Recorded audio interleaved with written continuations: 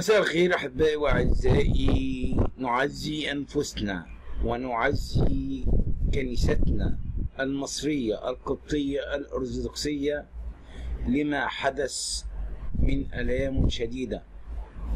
تفاصيل حريقة كنيسة إمبابة أبو سيفين أو كنيسة أبو سيفين بإمبابة وردود فعل دولية وتعاطف شعبي مع والدة الأشقاء الثلاثة.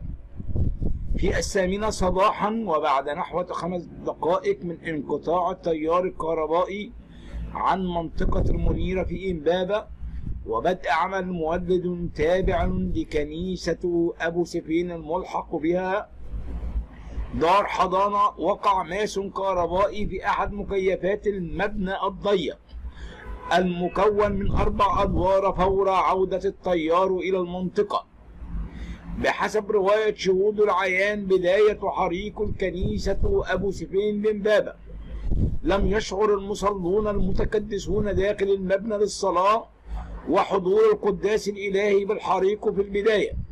لكن بعض جيران كنيسة الشهيد أبو سفين انتبهوا للحريق وبدأوا في الصعود إلى المبنى ليجدوا أطفال الحضانة متكدسين داخل الطابق الثاني لا يستطيعون الحراك بسبب الدخان الأسود الكثيف الذي عبأ المكان وبدأت الصرخات تتعالى ليتدفق السكان المحيطون بالكنيسة لمحاولة إنقاذ حياة المصلون داخلها. قصص كثيرة من الشهامة والفداء كان أبطالها سكان الشارع الضيق الكائن به كنيسة المنيرة التي كانت تضم نحو 150 شخصا على الأقل. بحسب شهود عيان وتصريحات عدد من ممثلي الجهات المعنية التي تدخلت على الفور للسيطرة على حريق كنيسة المنيرة والتعامل مع النيران. وبعد نحو ثلاث دقائق حضرت قوات الحماية المدنية إلى المنطقة وبدأت التعامل مع الحريق الذي أسفر عن 41 شهيدا و14 مصابا بحسب البيان الرسمي الصادر عن وزارة الصحة والسكان. وبينما المصري اليوم كتب قتيلا وهم ليس قتلى بل شهداء. أحد شهود العيان حادث كنيسة المنيرة قال في تصريحات لوسائل الإعلام عقب الحريق في حوالي الثامنة صباحا استيقظت المنطقة على دخان كثيف وصراخ فهرعوا لإطفاء الحريق وشاهدت أطفالا وسيدات ورجالا مكفوفين على الأرض وضحايا كثيرون توفوا وكان من بينهم كانوا الكنيسة. وحين وصلنا إلى الطابق الرابع الذي بدأ الحريق من داخله كان كل شيء مقلوبا على رأس وعقب حريق كنيسة أبو سفيان شاهد عيان آخر قال في السابرة صباحا انقطعت الكهرباء عن المنطقة وتم تشغيل المولد الكهربائي بعدها وحين جاء التيار الكهربائي حدث ماس بين التيار والمولد أدى إلى اشتعال أحد التكييفات وظلت النار مشتعلة لمدة ساعتين. ظن الجميع أن كل الأشخاص داخل الكنيسة خرجوا لكنهم ظلوا بالداخل لم يستطيعوا الخروج من شدة الحريق. ظللنا لمدة ساعة نحاول إخراج الضحايا وحضرت المطافئ بعد أقل من ربع ساعة.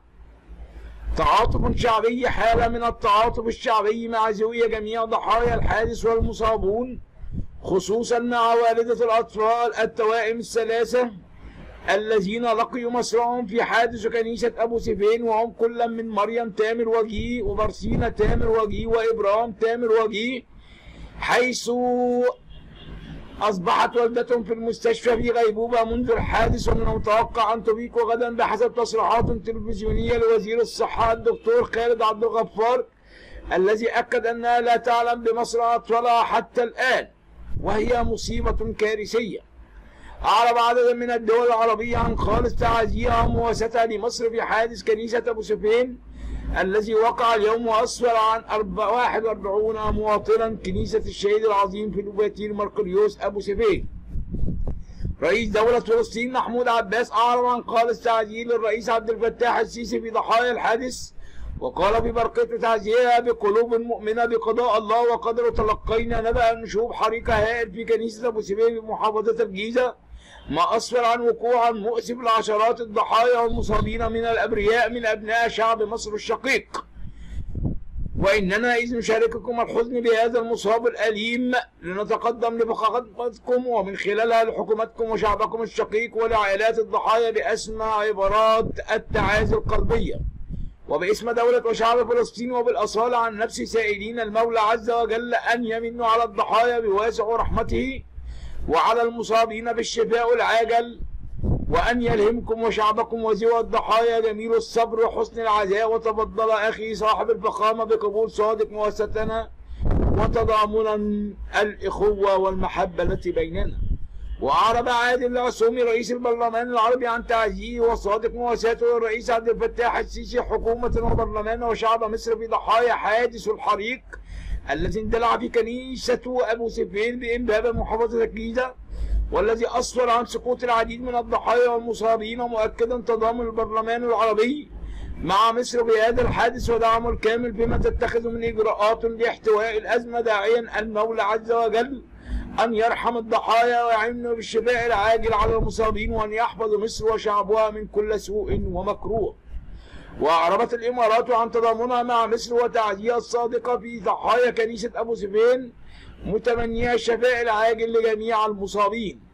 أما وزارة الخارجية وشؤون المغتربين الأردنية فأعربت عن يعني أحر التعازي وصادق المواساة لمصر في ضحايا حادث كنيسة أبو سفين في المنيرة الغربية في إمبابة بالجيزة مؤكدا تعاطف الأردن مع حكومة مصر وشعبها الشقيقة معربة عن خالص التعازي لزوال الضحايا وتمنيتها بالشفاء العاجل للمصابين. وأيضا العراق حيث أعربت وزارة الخارجية العراقية عن خالص تعازيها لمصر في ضحايا الحريق الذي وقع صباح الأحد في كنيسة أبو سفيان بمنطقة إمبابة والذي راح ضحيته أكثر من 40 من المواطنين المصريين وجرحى آخرون.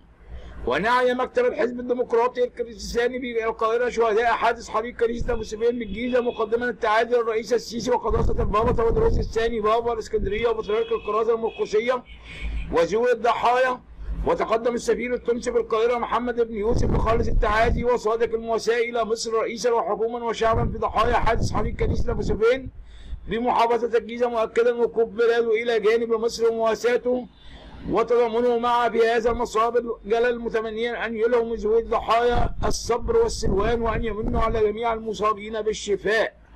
وأعرب السفير الصومالي في القاهرة إلياس الشيخ عمر عن خالص التعازي وصادق المواساة إلى الرئيس عبد الفتاح السيسي والحكومة والشعب المصري في ضحايا حادث حريق كنيسة أبو سفيان ومحافظة الجيزة. نتمنى الشفاء العاجل إلى كل إخوتنا المصابين وأن يلهم الصبر والتعازي لكل أحبائنا الذين بقيوا شهداء أبنائهم. شكرا لكم أحبائي وأعزائي ونتمنى كل الخير والشفاء لكل شعبنا مصر الحبيب. لا تنسى اشتراكك في قناة الملكة والأمير مع كل التعازي من قناتنا ملكة الملكة والأمير إلى كل الأهل والأسر ولكل المسيحيين. وسلام الرب يكون معكم. أمين.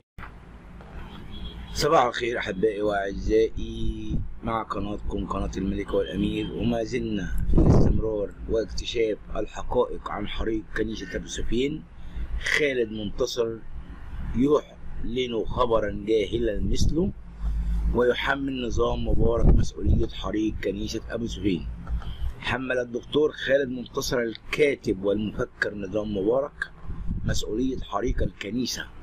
ويقول أن حريق كنيسة سفين يعد من إهمال ومنع ترميم الكنائس مما جعل المسيحيين يضطرون للبناء داخل عمارات ضيقة ومناطق عشوائية. وقال خالد منتصر عبر فكره المتخلف وعبر حسابه على الفيسبوك المسؤول والمتهم الأول عن حريق كنيسة. حريق كنيسة زي اللي أنتم شايفينها دي كنيسة أبو سفين هو نظام الرئيس مبارك. 30 سنة إهمال ومنع ترميم كنائس وبناء بطرق ملتوية مما جعل المسيحيين يضطرون للبناء داخل عمارات ضيقة ومناطق عشوائية. وأضاف الكنيسة اللي اتحرقت دي إزاي؟ تراعي شروط أمان وهي مبنية أصلا بالشكل العشوائي ده. في زمن مبارك كانت جلدة الحنفية وتركيب قاعدة تواليت عايزة قرار وختم نسر عشان الخط الهميوني كنائس ليست كنائس بل هي زنازين فيها كهنة يقومون صلوات مجرد سقف وجدران فقضى لأبسط أبجديات السلامة والأمان. وعبء كبير الآن لعلاج تراكمات مباركية سرطانية قديمة. هناك ترميمات تجرى الآن لكنائس على نطاق واسع. وبجهد رهيب لكن المهمة في منتهى الصعوبة خاصة وأن هناك عدد كبير من الكنائس قد دمره الإخوان أكثر من سبعين كنيسة أحرقوها وخربوها في 30 يونيو أو بعد 30 يونيو. واختتم شعار دولة مبارك كان أعطوا الشارع للإخوان وأتركوا لي الكرسي. هذا الشعار خرب أشياء كثيرة وزرع طائفية مقننة. وإعادة مباني الكنائس لكي تكون مباني حديثة. بجد؟ وفيها شروط الأمان محتاجة تكاليف وتكاتف كبير من المجتمع. كلام ليس له أي معنى وكلام أعتقد أنه غير حقيقي ولكن الإهمال لابد وأن نراعى طيب إزاي إن إحنا نقول بعد كل الكلام دوت الأخ خالد منتصر. طيب يا سيدي أنت الكلام دوت. طب. كمان الحريق اللي حصل في كنيسة آه الأنبا موسى بالجيزة وشرز أيضا في لوح الكهرباء. يا سلام يا سلام. لم يصفر عن أي خسائر مادية أو بشرية. يا سلام. اندلع حريق محدودة منذ قليل في كنيسة العذراء والأنبا موسى تقاطع الطريق الدائري مع محور 26 يوليو بميدان الإمداد من الجيزة ودفعت قوات الحماية الميدانية بسيارات الأسواق كما دفعت وزارة الصحة بثلاث سيارات إسعاف فور وقوع الحريق. ولا توجد أي خسائر مادية أو بشرية وتبين الفحص عدم وجود إصابات وأن الحريق نشب في لوحة توزيع الكهرباء داخل الكنيسة وتم السيطرة على الموقف وبسط التيار الكهربائي وجاري تحرير المحضر اللازم وإخصار النيابة العامة لمباشرة التحقيقات. لحد إمتى هتكذبوا لحد إمتى هتكذبوا لحد إمتى؟ مش هتقولوا الحقيقة. كل ده كلام يعني مش عايز أقول إيه لكن كل اللي أنا أقول ربنا يسترها. إحنا الأيام دي بأيام عظيمة وأيام مجيدة وأيام للسيدة العذراء. يا أستاذي يوم 15 8 كان ذكرى فض ربعه ذكرى فض ربعه وبلاش نهول أول تعليق للكنيسة الأرثوذكسية على فيديو صلاة كان كان الكنيسة المحترقة. علق القمص موسى إبراهيم المتحدث باسم الكنيسة القبطية الأرثوذكسية على مقطع الفيديو المتداول للقمص عبد المسيح بخيل كان الكنيسة أبو سفين وهو يصلي في هيكل الكنيسة لحظة الحريق. وقال القمص موسى إبراهيم إن علينا أن نتوقف عن تفسير الفيديو بهذه الطريقة دقيقة و13 ثانية. منهم 24 ثانية المشهد طبيعي لا يوجد فيه حريق وهناك 49 ثانية بداوا يظهر الدخان وأضاف المتحدث باسم الكنيسة القبطية الارثوذكسيه بتصريحات صحفيه الفيديو هو بداية ظهور مسألة الحريق في بدايته على مدار ال 49 ثانية. الباقيين بدأ يتحرك بغض النظر أو ببعض الناس لاستطاع الموقف. لما وضح الموقف بدأ الكل يتحرك للتعامل مع الموقف بما فيهم أبونا الكاهن وتوقفوا بالصلاة في هذا في بداية الفيديو. وأكد أن الكاهن وهو واقف في بداية الفيديو وكان في بداية الحريق وهو لم يتحرك في البداية من مكانه انتظارا إلى أن يعرف ماذا يحدث. قبل ما يغطيه الدخان كان المشهد عادي في ال 24 ثانية الأولى و49 ثانية أخرى. بدأ الدخان يظهر وبشكل كثيف وشدد ما تعرفه عن شهود العيان أن أبونا الذي توفى تحرك وأصر أن يخلي الناس الموجودة وشارك في إخلاءهم إلى أن توفى. فتصدير فكرة أن أبونا رفض وأصر يكمل الصلاة أو شيء من هذا القبيل فهي غير دقيقة. مفيش حد يكمل صلاة في ظل وضع طارئ مثل هذا. فحياة الناس أهم وهي العبادة الأهم في هذه اللحظة. شكرا لكم أحبائي وأعزائي. وكفاية فتشي وكفاية دمار وكفاية شماتة وكفاية وجع قلب. يعني إحنا اللي فينا مكفينا.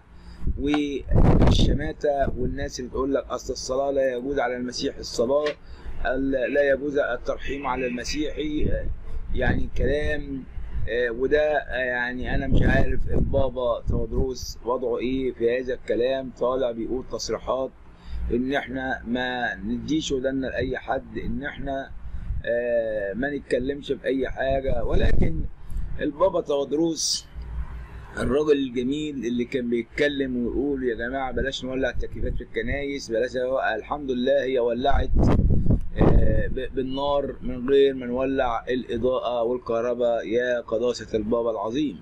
البابا تودروس لا نقبل الشماتة وتوجيه الاتهامات بالتقصير؟ أنت راجل عظيم. قال قداسة البابا تودروس الثاني في ناس للأسف الشديد أثارت الشر بالأكاذيب.